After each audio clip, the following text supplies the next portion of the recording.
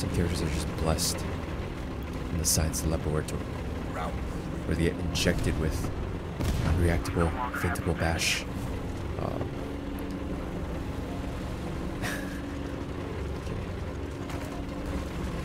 I'm scared of crossing the bridge now, guys. Ooh, what the? Try to do the sniper attack. He's gonna uh. Ready, toe.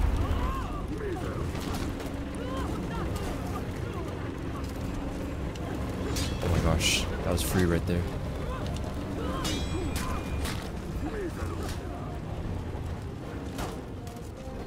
Oh, we need to chill out here. Oh my gosh, I didn't mean to do that. Aha! Life on life on the edge. I love it. Oh.